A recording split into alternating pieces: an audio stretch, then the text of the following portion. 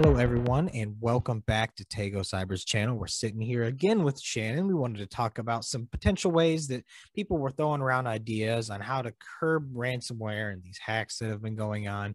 Shannon, I give the reins to you. Thanks, Michael. So, there's a couple different ways that professionals have recommended that we try to curb the ram- rampant increase in ransomware attacks that have, has occurred lately. And one of those is possibly banning the ability or making it illegal for companies to pay the ransom.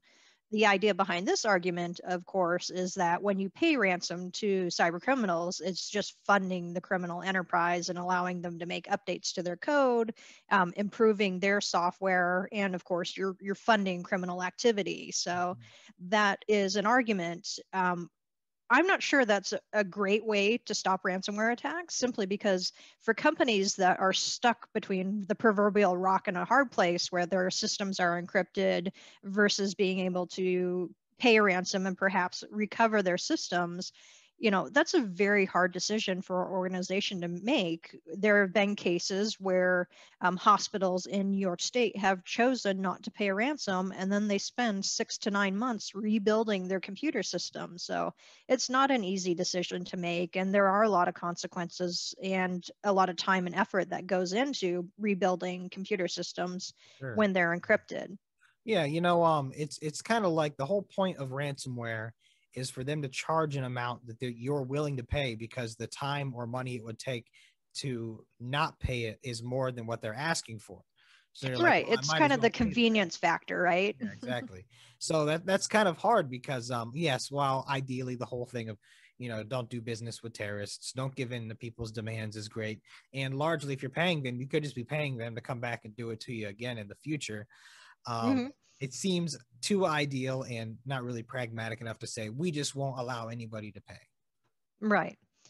Now, another way that some have recommended to stop ransomware payments is to ban the use of cryptocurrencies for everybody, which is probably not at all a reasonable or likely argument or mm. likely thing to happen. But that has come out basically in saying, you know, the use of cryptocurrency has allowed ransomware to grow to where it is today, but people might be surprised to actually find out that ransomware has existed since 1989 and it was first distributed on one of those big giant floppy disks um, to participants of a um, AIDS conference. I believe it was through the World Health Organization or one of those organizations.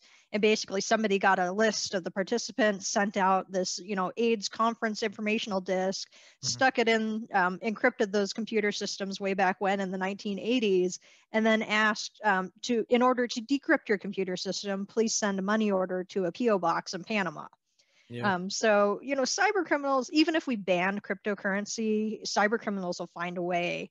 And even officials at CISA have agreed that banning cryptocurrency is really not an option for stopping ransomwares because yeah. they will find a way to get paid. Yeah, I would say um, cryptocurrency is the the proverbial letting the cat out of the bag. It's not easy to put the cat back in the bag. It's yeah, exactly. a large force, and I mean, maybe maybe in 2011 they could have tried to ban Bitcoin before it mm-hmm. really mm-hmm. kicked off, but now there's thousands of cryptocurrencies, and there's there's really no chance. And you had mentioned before that you can track them now largely too, so we we have options for it, but like it's uh common adage is the man who invented the car invented the high speed chase, invented the you know getaway bank robbery in the in the vehicle. Right. We didn't try to ban cars. It's just that with along with advances in technology, we then have more problems stacked on top of it. Criminals are criminals. They're opportunists. They're going to take advantage of everything they can to do things. Right. And if you look at the evolution of cybercrime as well, you know, we started with the penny stock scams and then it went into the Nigerian prince schemes. And, you know, cybercrime has evolved over time to become much more sophisticated. Um, so we can expect, you know, to see continued ransomware attacks. It's more, um, even the um, Biden administration has now started encouraging organizations to take cybersecurity seriously and put protections in place.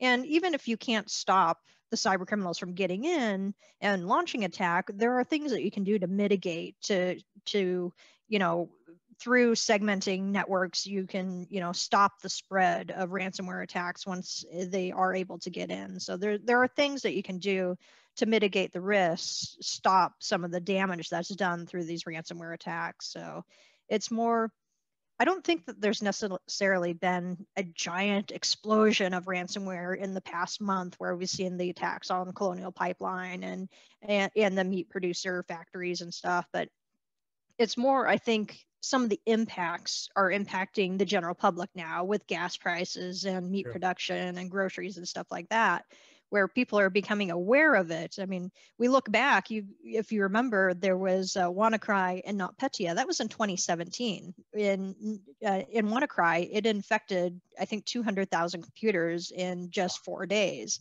And NotPetya, that was $10 billion worth of um, losses due to that wiper ransomware attack. So um, ransomware has been around for a long time. And I think it's just now people are like, oh, it actually does have real world consequences and impacts in our daily lives. Yeah, that's a good point. This isn't something new. This is something that's been just going on for a long time. Um, it's interesting that the public is now getting more affected. I mean, if I choose between Bitcoin and Tofurky, I might have to make a choice there eventually. yeah. But yeah, I think I think this is something that's going to be solved through through nuanced, you know, companies actually going in and and putting up better security and getting ahead of this stuff proactively and also licking our wounds and learning from our mistakes is going to be mm-hmm. a part of it rather than just grandstanding with prohibition across things. So it just right. that just sounds like the government's trying to come up with an easy solution to an actually complicated problem. Yes, exactly. Yeah. All right, Shannon. Well, thank you for coming on. Thank you for sharing your thoughts on this. If anyone has any questions, don't be afraid to shoot them over. We'll be happy to work through anything you guys have for us and stay tuned for more updates coming soon. Shannon, have a wonderful day. You too.